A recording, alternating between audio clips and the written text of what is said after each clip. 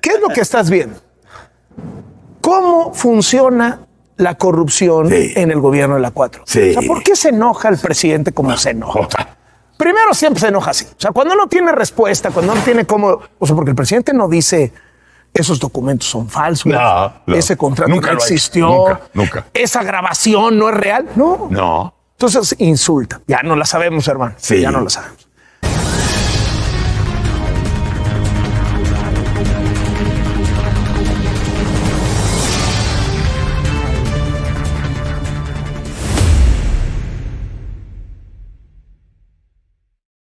¿Te acuerdas, hermano, cuando en medio del COVID, la medicina contra el COVID, el famoso Remdesivir, se le negaba a todos los mexicanos? Pero el presidente y su hijo José Ramón, con un convoy del ejército que se la llevó hasta su casa, Sí. sí tuvieron acceso a esas medicinas. Claro.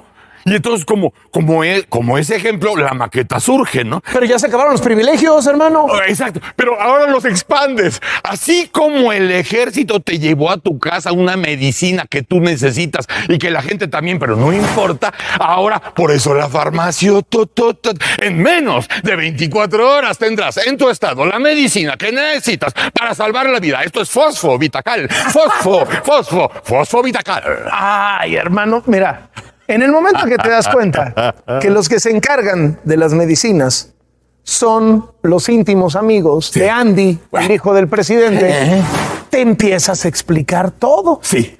O sea, a ver, ¿quién compraba las medicinas en el Insabi? El mejor amigo de Andy. Sí. ¿A quién le compraban las medicinas en Quintana Roo con dinero del Insabi? Claro. Al mejor amigo de Andy. Es decir, ahí está todo manejado, hermano. ¿Qué producto hay más noble que no se preste a sospecha fácilmente que las medicinas que la gente necesita para aliviar su dolor o sobrevivir? Acuérdate, acuérdate de, de- de todo lo que pasó en la pandemia con las máquinas de quién sabe qué y los respiradores. ¿Te acuerdas cómo hizo negocio el hijo de Bartlett? Ah, Con las medicinas. sí. Los amigos de Andy haciendo negocios con las medicinas. Es decir, este gobierno sí ha logrado que algunos se la pasen como en Dinamarca. sí? Los amigos de Andy haciendo negocio Sí. con la salud. Claro. Y eso es parte del clan, hermano. Me gustó lo del clan. Y lo que viene el próximo año. Eso, porque todo el mundo está en la polémica, muy enojado, Andrés, muy enojado. Pero tú advertiste, es la primera de la entrega, o sea, es una entrega más grande. Viene mucho cosas. Viene mucho más, hermano. A ver, ¿qué es lo que estás viendo?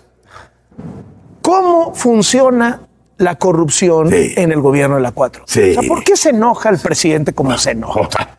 Primero siempre se enoja así. O sea, cuando no tiene respuesta, cuando no tiene cómo. O sea, porque el presidente no dice esos documentos son falsos. No, no. Ese contrato Nunca no lo existió. Nunca, nunca. Esa grabación no es real. No. No. Entonces insulta. Ya no la sabemos, hermano. Sí. Ya no la sabemos. Pero ¿qué es lo que le tiene enojado? Que lleva todo el sexenio diciendo que ya se acabó la corrupción. Sí. Y lo que te demuestra el clan, el clan de su hijo Andy, el clan de sus hijos, ya verás después, es que la corrupción sigue funcionando. Claro.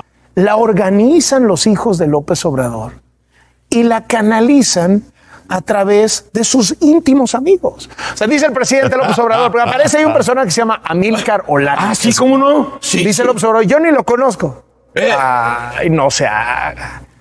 Pregunta en Tabasco, hermano. Vamos a Tabasco. ¿Qué Tabasco es un Edén? Y pregúntale, ahí, oiga, disculpe, ¿quiénes son los mejores amigos del hijo del presidente? Desde hace años. Claro. Te van a decir Amílcar Olán, te van a decir el que estaba ahí en compras de medicinas del Insabi, Sí. te van a decir ahí, esos son los brothers, brothers, brothers de Andy. Son los nuevos ricos de la 4T. Sí. Los que se están quedando con los negocios de las medicinas. Negociote en dos bocas. Negociote en el tren Maya. Pero se están haciendo multimillonarios y le están guardando el dinero a Andy. Eh, O sea, a ver, No lo, no, no. Nadie los está acusando de tontos, hermano. No. No van a meter el dinero a sus cuentas bancarias. Guárdamelo, A ver, Amilcar. A ver, Guarda- demuéstrame la cuenta de ahorro del caballero. No, no funciona así. Si no lo estamos acusando de tonto, lo estamos acusando de corrupto, ¿no? Tal cual dice, a ver, dice López Obrador, que me muestre el documento donde Andy recomienda que por favor le den ese contrato a su amigo. La corrupción no se deja por escrito, Pero hermano. ahora explícate la válvula de presión. O sea, si has utilizado al Estado para mo- montar una secta, casi un culto, Sí. alrededor de una persona incapaz, una persona santificada, una persona buena, un humanista, y de pronto se le exhibe. O sea, la válvula de presión es muy cabrona. Muy. Y mira, faltan muchas entregas tuyas y Falta. un año hasta la campaña. hermano. Imagínate la presión.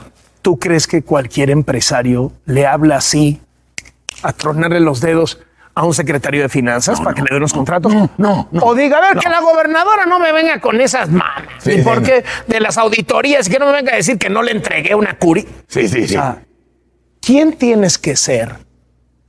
¿Quién te tienes que saber? sí. ¿Cómo te tener tienes esa que sentir Influencia. para que hables así de un secretario de finanzas de una gobernadora? A ver, habla de este cabrón y dile que va así o va así. y basado, ¿no? Y, se- y me lo hacen y se doblan y me pasan la lana y, y se acabó, ¿no? Igual que lo hacían los neoliberales y los conservadores ¿Cómo? y los aspiracionistas. Pero si no son iguales. peores. Resultaron peores, Hermano. Porque imagínate, date el barniz de la moralina y Claro. date el barniz de la imposibilidad de agarrar lo ajeno. Bueno, imagínate ese barniz donde nada humano te es ajeno. Y de pronto sales con la misma pinche batea de babas. ¡Qué presión! ¡Qué presión! ¿De dónde sale para la vida que se dan los hijos? Bueno, Sin trabajar y vida de millonarios, los restaurantes. ¿Quién paga la pues ya digo el presidente que no son como tú. No, no, no. No son como tú. Hermano, te garantizo que no son como yo. Ay, me tienes aquí trabajando. No, no, no. Yo No. casi, casi, me, me- casi me orino de la risa. No, no, no, mis hijos no son como Loreto. No, pues no, no, no. No, no, uno se chambea, hermano. Sí, o sea, el sureste, el sureste siempre será el sureste, pero no, no, no se trata de eso. Hermano, tú me conoces hace años. Me hace, conocido hace- chambeando. hace un chingo de años. ¿Eh? Chambeando desde temprano. Chambeando, ¿qué? taloneando, como, como si tuvieras necesidad, güey. O sea, te conozco desde que tenías necesidad. Oye, ¿y le conoces chamba a los hijos del presidente para que se den la vida Es- que, eh, bueno, a las mansiones claro. donde viven los O depas? como no, o sea, recordando ese. Eh, trabajaron en esto de... eh, ¿Cómo se llama? sí, cuando estuvieron ahí lo de... En lo de, ¿te acuerdas? No, no, no. Y, O sea, y que Andy José son muy chambeadores. Sí, sí, sí. Pues, ¿Te acuerdas cuando se metieron a lo, del, a lo En- del asunto de... Ah, uh, No, uh, ahí. uh, gran, gran Pero que luego se tuvieron que sal- Pues sí, no, porque no. ah, ¿Sí ¿Te acuerdas de otra chamba que la de Ah, sí, ¿cómo no? sí, sí, sí, sí. sí, sí. Pero no. ¿Crees que al final, crees que al final cuando se haga el recuento del sexenio, pues así como a Salinas lo hundió la historia de Raúl, etcétera, su hermano, los hijos terminen hundiendo el legado del papá. Si los hijos terminen exhibiendo la farsa. Yo me he preguntado muchas veces, Eh. ¿cómo es posible que este país se haya vuelto impermeable a los agravios? Sí. decir, oye, tienes un presidente cuyos hijos viven como reyes Sí. y con todo descaro sale y te habla de que aquí no hay corrupción, que sus hermanos se meten en sobres amarillos, dinero en efectivo, clandestinamente y no pasa nada. Que dejó al país sin medicinas, que Eh. tiene más doble de muertos que Calderón y que Peña Nieto, eh, eh, que tienes todos los feminicidios en nivel récord. Y nos hemos vuelto como sociedad impermeables a las desgracias, impermeables a las tragedias. Sí. Cuando uno hace cortes de caja como, como estos que se suelen hacer en, en Navidad, en Año Nuevo, dices, si fuéramos un- un- una sociedad eh, más sensible, a lo mejor no le estaríamos dando al presidente todas las licencias que se le dan.